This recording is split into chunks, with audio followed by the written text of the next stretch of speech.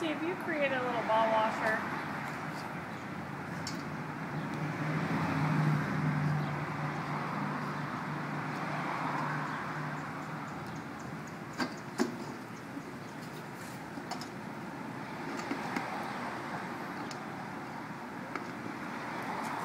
Keep in mind you have to drink out of that bowl, Quincy.